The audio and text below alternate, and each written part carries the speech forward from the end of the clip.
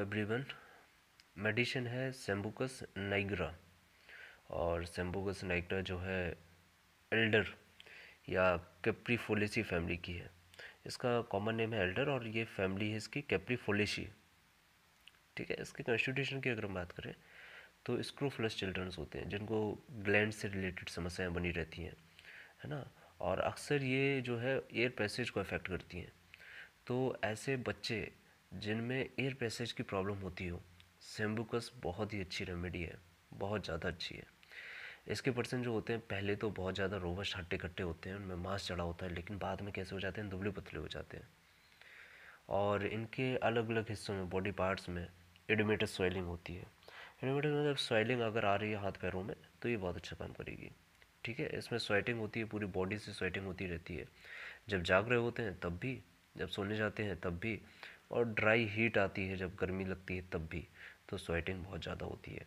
पूरे बॉडी में स्वेटिंग होती रहती है, बहुत ज़्यादा पसीना आता है। ठीक है? अच्छा जो ऐसे बच्चे हैं या ऐसे लोग जो आँखें बंद करते हैं, सोने जाते हैं तो उनको पसीना आने लगता है। तो चाइना है, कोनियम है। वैसे प्रोफी स्वेटिंग हो रही हो, पूरी बॉडी से हो रही हो, जागते भी हो रही हो, सोते में भी हो रही हो तो हमारी ये है। ठीक है?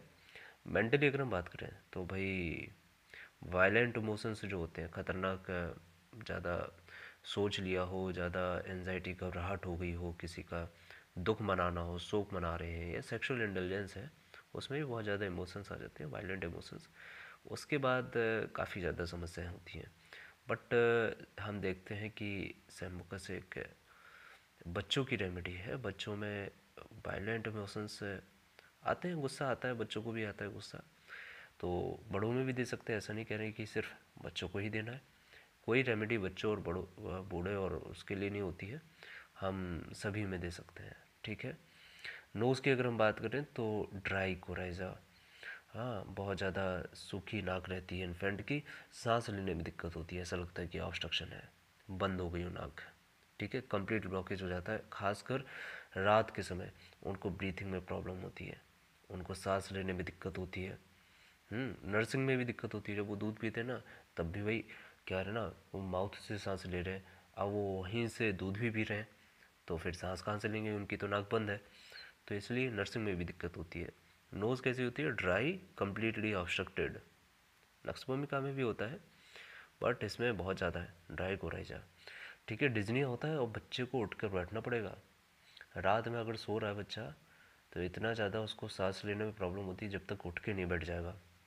तब तक भाई वो सफोकेट करेगा, है ना? उसका चेहरा है ना पूरा नीला पड़ जाएगा ब्लू पड़ जाता है और उसको सांस लेने में दिक्कत होती है, इसलिए बैठ जाता है उठकर।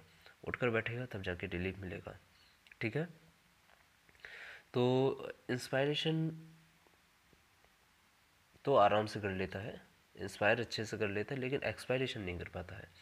जब हवा बाहर निकालनी होती है तो नहीं कर पाता है। ये इंपॉर्टेंट पॉइंट है कि इंस्पायरेशन अच्छा है इसका। ठीक है? एक्सपायरेशन बेकार है, हैं? नियरली सफोकेट हो जाता है। जब भी एक्सपायरेशन करता है तो सफोकेशन भी होता है। ठीक है अटैक थोड़ी देर तक आते हैं, फिर चले जाते हैं, फिर थोड़ी देर बाद आते हैं, फिर चले जाते हैं। बच्चा सो नहीं पाता है। उसकी पूरी की पूरी नींद खराब हो जाती है, उसे बार बार उठकर बैठना पड़ता है। ठीक है? तो स्लीप्स में ये छोटे छोटे अटैक्स पड़ते रहते हैं और उसको बार बार नींद नहीं आती है। क्यों नींद नहीं आ रही है? क्योंकि वो सांस निकाल नहीं पा रहा है बाहर। ओके? लास्ट स्टेज हो ग्रुप की, जब खांसी वगैरह होती है और उसकी लास्ट स्टेज हो, तब सफोकेशन के इस तरह के अटैक्स आते हों तो बहुत अच्छी रेमेडी है। कफ़ की अगर हम बात करें तो कफ़ कैसा होता है? सफोकेटिव कफ़ होता है। बच्चे को रुला देता है मिड राइट में जगा देता है और बच्चे को रुला देता है। इसकी जो खांसी होती है, वो कैसी होती है? होलो और डीप पूपिंग कफ होती है। बहुत ज़्यादा भारी और बच्चे को रात में जगा देने वाली सफोकेटिव कफ होती है। एक सफोकेटिव है और एक डीप ड्राई है है ना? फीवर्स जो फीवर होता है, उसके प्रोक्सीजिज्म में जो फीवर आता है, उसमें डीप और ड्राई कफ होती है। या डीप ड्राई कफ होने के साथ में फीवर भी आ जाता है, ठीक है? अगर डीप और ड्राई कफ है, अगर फीवर भी आ रहा है साथ में सेम्बोकस ठीक? सफोटिक कफ कफ में एक्चुअली स्पाज्म होता है चेस्ट में। इनहेलेशन रेगुलर है एक्सलेशन में दिक्कत होगी। ठीक है? इस बाजू क्यों हो रहा है चेस्ट में क्योंकि इनहेलेशन तो कर पा रहा है बट एक्सलेशन नहीं कर पा रहा है है ना? फीवर कैसा आता है? ड्यूरिंग स्लीप जब सो रहा हो ना, और या लेटने जा रहा हो, या फिर पूरी तरह से सो रहा हो तो उस सूखी हीट आती है और बिना थर्स्ट के फीवर आता है। प्यास नहीं लगती उसको, ठीक है? और अनकवरिंग से डरता है ये। क्या करता है? अनकवरिंग से डरता है इसको। अनकवरिंग बिल्कुल पसंद नहीं है ओके तो एक छोटी सी रेमेडी है सेम्बुकस इसमें रेस्ट में इसकी दिक्कतें बढ़ती हैं फ्रूट खाने से दिक्कतें बढ़ती हैं। लेटने से sitting up in the bed sorry बैठने से आराम मिलता है। जब वो बेड पर बैठ जाते हैं, तब आराम मिलता है। लेटने से तो दिक्कत होगी, क्योंकि वो सांस नहीं ले पाएगा। तो सेमोगस नेक्टा जो है, उसका कॉन्स्टिट्यूशन क्या है?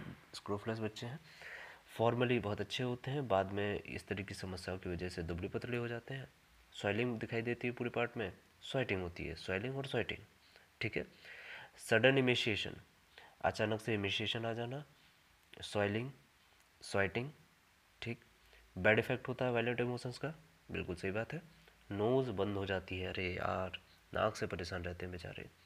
डिजनिया हाँ रात भर जगाता है उनको सफोकेटिव अटैक्स आते हैं। इनहेल कर रहे हैं एक्सेल नहीं कर पा रहे। सफोटिक, सफोकेटिव कफ आ रहा है। कफ में भी वही हाल है कि भाई जो स्पाज्म होता है चेस्ट में, उसमें वो इनहेलेशन तो कर लेते हैं, लेकिन एक्जलेशन में दिक्कत होती है। नहीं कर पा रहे एक्जिलेशन तो नहीं कर पा रहे। फीवर फीवर कैसा रहता है? फीवर स्लीप के समय होता है, लेटने के बाद आ जाता